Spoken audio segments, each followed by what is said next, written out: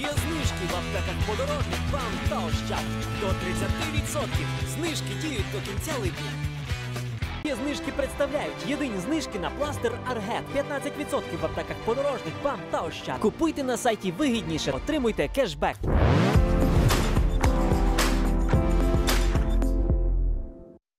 Їхали на відпочинок в миловидний дитячий табір в горах Іспанії, а опинились в антисанітарних умовах під палючим сонцем. Здесь вот ребенок вспотел из-за того, что здесь невозможно дышать. Здесь кондиционер, который единственный был, он сломался. Сейчас у них- Туалет у них вообще не подключен. Це відео зняли діти, які опинились ось у таких наметах з поліетилену. Всього 46 дітей з України. Під палючим іспанським сонцем температура всередині наметів сягає 40 градусів. Боже, який пол гарячий, знаєш, коли по піску гарячому йдеш, взагалі те саме.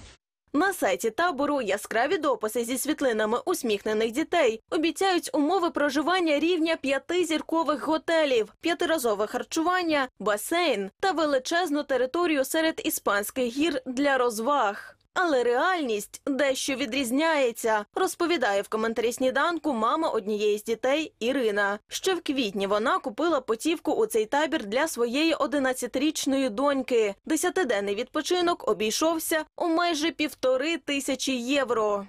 І знаєте, оскільки це була рекомендація від знайомих, ну і плюс красива картинка, яку е, табір показує в інстаграмі, в мене не виникло взагалі ніяких там підозр, що може бути щось е, негаразд е, з цим табором. Ірина ділиться. Її доньку заселили в намети, які ще називають глемпами, лише увечері, при тому, що вона з групою дітей приїхали у табір з самого ранку. Перший день проживання в наметі став нестерпним для дівчинки, і вона поскаржилась мамі, що в глемпі дуже спекотно і не працює вбиральня. Я здогадалася там через дитину, е, щоб дитина підійшла до адміністрації, знайшла хоч когось, і е, щоб я могла поговорити, тому що дозвонитись не було можливості весь другий день. Він пояснював це тим, що, на жаль, його підвели підрядники. І ви ж розумієте, це ж Іспанія. Підрядники погано працюють, і е, вони мали зовсім інший намір. На питання Ірини, чому ж батьків не попередили, що намети не готові до заселення дітей, відповіді у власника не знайшлося. Ну, я не знаю, чи це був фактор, але моїх дітей, ну тобто Вероніку і її подружку, переселили е, в номер, який знаходився в корпусі цього готелю, чи не знаю, як це назвати це, це місце.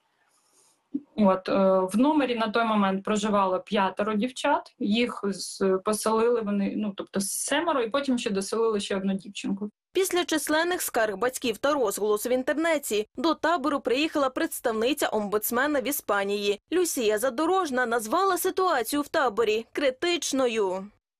Адміністрація протягом доби не відповідала на дзвінки батьків, які були в паніці, не знаючи, що коїться з їхніми неповнолітніми дітьми. Діти перебувають у приміщеннях з порушенням санітарних норм, не мають доступу до туалету, питної води, їжі та засобів гігієни. Через високу температуру дітям стало зле. Ірина ділиться, попри те, що після її розмови із власником табору її доньку переселили у готельний номер, вона все ж забрала її з табору раніше часу. Дивно, проте на територію табору жінка зайшла безперешкодно, що наштовхує на думку, табір з дітьми не охороняється. Я зайшла в один із глемпів, де був хлопчик, було відчинено. Я запитала, них дуже жарко. Я зараз піду на адміністрацію, буду спілкуватися. Та в адміністрації табору просто розвели руками і запропонували виплатити Ірині грошову компенсацію за два дні, коли її донька жила в парких наметах без умов. Ми також написали власнику табору у соцмережі, проте наше повідомлення залишилось непрочитаним та без відповіді. На кричущу історію відреагував і уповноважений з прав людини Дмитро Лубінець, назвавши організаторів табору шахраями. Після приїзду місцевої поліції власник заявив батькам, що більше не несе відповідальності за дітей і вони можуть їх забирати. Він погрожує викинути дітей з табору і примусово відвести в аеропорт всіх незадоволених. Звернувся до МЗС України з проханням доручити посольству України в королівстві Іспанія вжити усіх необхідних заходів для захисту прав дітей.